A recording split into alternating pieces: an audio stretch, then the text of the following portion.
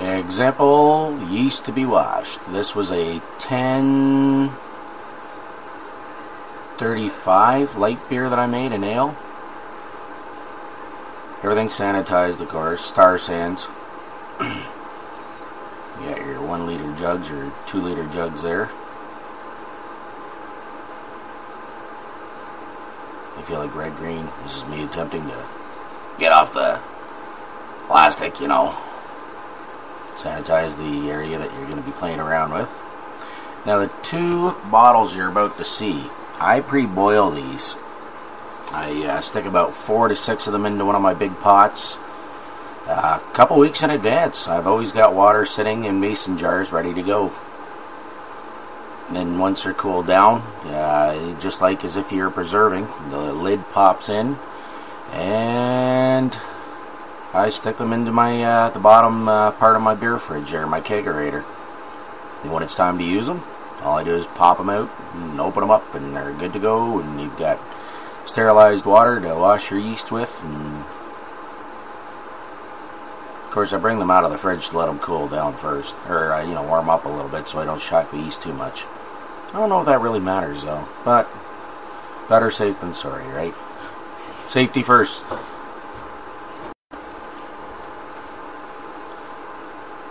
This is me pouring the water into the carboy. Okay, green.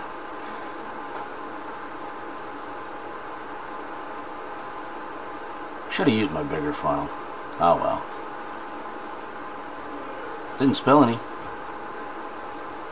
Old Gil needs his water. Lid's back on just to make sure nothing gets into them. You're about to see some washing techniques. Grip your seats, people. Get ready. Here it comes. I have to put saran wrap around my uh, the necks there sometimes. Uh, I've got those uh, airlocks that uh, are orange, and they, boy, am I a bad cameraman, that fit on. And sometimes they're not snug enough on that uh, carboy most, or mostly for some reason, different size neck than the other ones, I guess.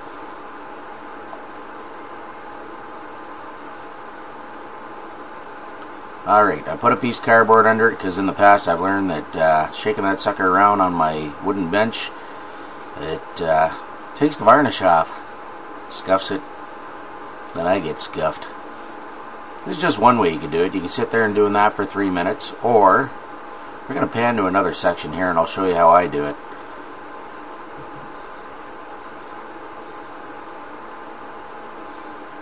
There you go. I swirl it around really fast. You'll see me really get going on her. You do this for about three minutes there before you uh, you separate it.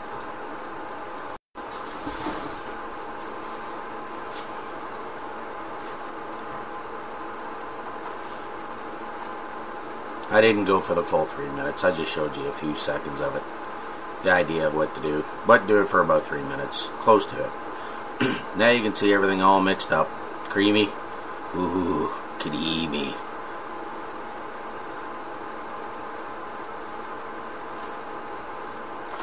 There wasn't a lot of trub in this one because it was a low uh, OG.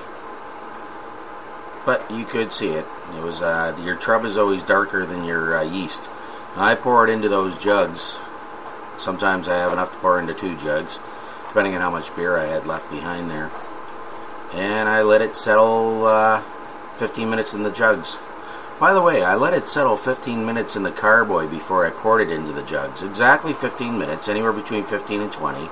That gets a lot of the trub to fall to the bottom. Then I do the second step just to make sure that I'm getting yeast no trub into my uh, into my uh, mason jars when I pour it into that. So I'm going to cover it again when you'll see here in a bit, and I'll let it sit for another 15 minutes.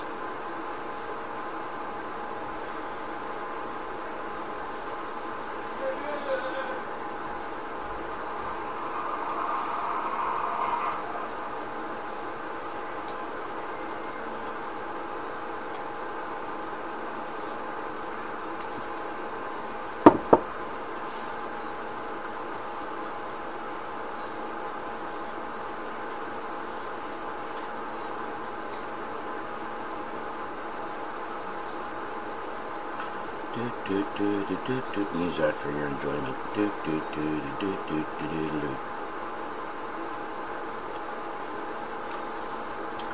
So after washing it in the carboy, 15 minutes. Between 15 and 20. And then you do the same in the jug. Another 15 minutes in the jug. Covering her up with saran wrap there. Elastic to keep everything out. I'm not Mr. Fancy Pants. I haven't got uh, any hair elastics to use. Oh my god, who's that ugly guy? Now I'm actually going to try and recover more of that yeast. I'll end up putting it into the other jug there, but I'm not going to bother showing you guys that. It'll sit for another 15 minutes while that jug sits for 15 minutes. I'll pour it into a second one and I'll use it to top up the uh, mason, uh, the one mason jar.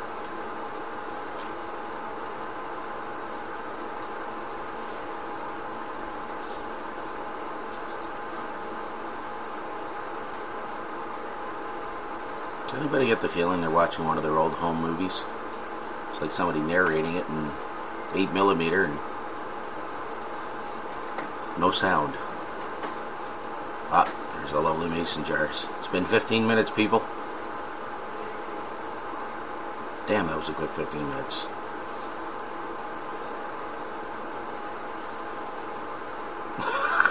Get that damn. We don't need no stinking cardboard.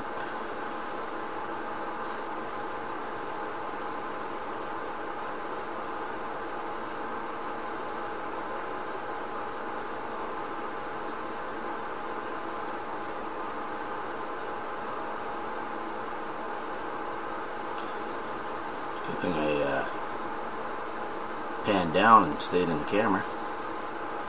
There, we're back. I don't let the jug touch the side of the mason jars. Try to keep everything as clean as possible.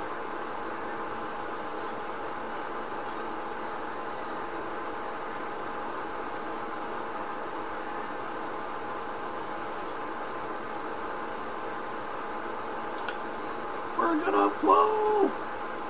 That one's done. Excuse me.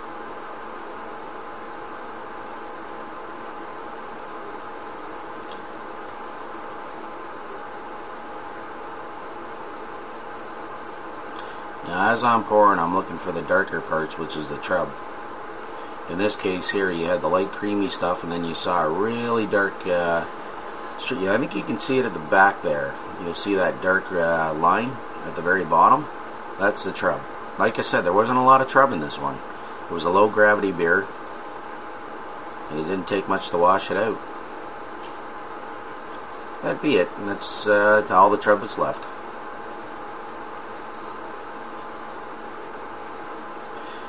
And people, that is just about it. That's how easy it is to wash yeast. If I can do it, anybody can do it. Give her another try, Craig. I wouldn't bother with uh, dry yeast, but I definitely do it with the expensive uh, liquid yeast. Cheers.